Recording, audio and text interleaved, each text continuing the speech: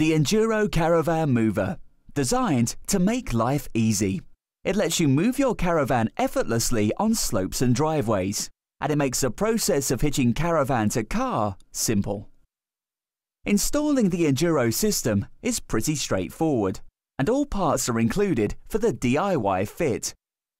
Ideally, fitting should be carried out in warm, dry conditions, and, if possible, it is a good idea to have some assistance. The fitting procedure may be broken down into three sections, including chassis fitment, electrical connection, initial system engagement and test. The first thing you should do is unpack the boxes and check that the contents are complete and become familiar with the various components and their assembly. You can check this by referencing the assembly diagram at the front of the user manual, and it's a good idea to read the manual before you start. Good preparation will save you time, and it will help with the installation. First, ensure that the caravan is resting on a hard level surface and the handbrake is on. As the mover system will usually be fitted in front of the caravan wheels, it's a good idea to angle the front end up as high as possible. On single axle caravans, this can be done by lowering the front corner steadies as far as possible until the rear of the caravan is nearly touching the ground and sliding an axle stands under the chassis in front of the wheels for additional support. Check that the caravan battery and the mains electrical supply is disconnected. Check that the tyres are not excessively worn. New or nearly new tyres are the best option to ensure the mover operates correctly. Check that the tyre pressures are correct to the manufacturer's recommendation. Make sure the chassis is in good condition without any damage and is free from rust, dirt, etc. Chassis fitment. Step 1. Wire the motors. The two motors should be pre-wired, but if these need to be rewired, simply connect the positive and negative spade terminals to the corresponding motor connections, found under the weatherproof covers.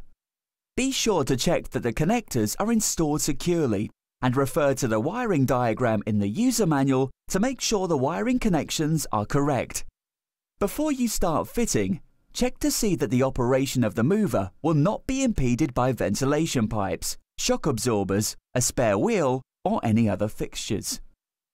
Next, position the main crossbar underneath the caravan.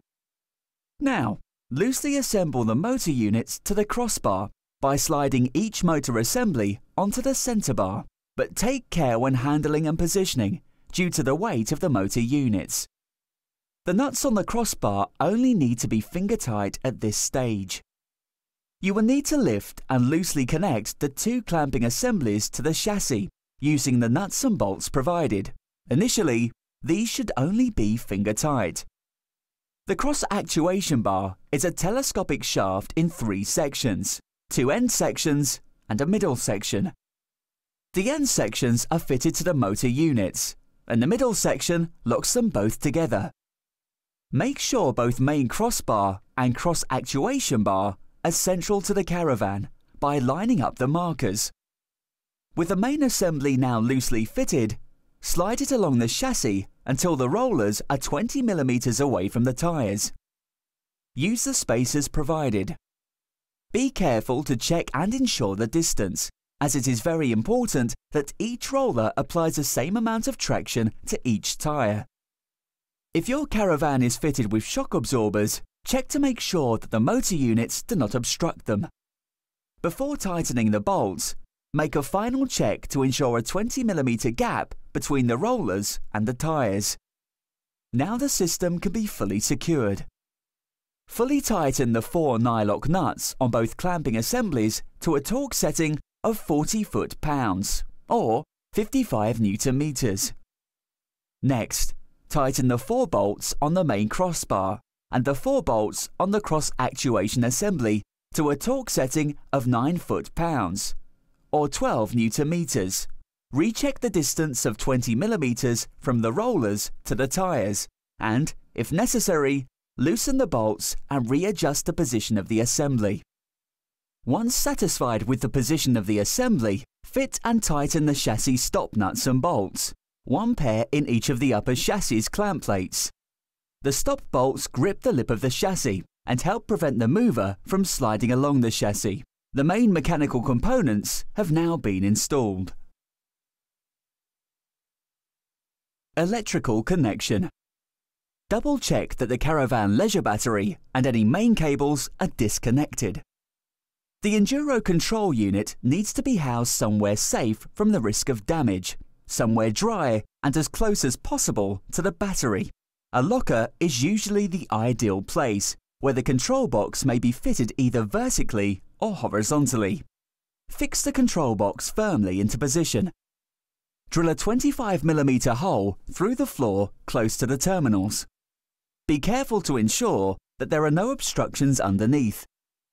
Later, the motor cables will be passed up through the hole and connected to the control unit. But first, you should fit trunking underneath the caravan and route and protect the external cabling. Leave a small loop of slack near the motors. This will let the motors move freely back and forth when the mover is being engaged and disengaged. It is important that left and right cables are the same length. The trick is to bring left and right to the centre of the caravan and then route them onto the control unit.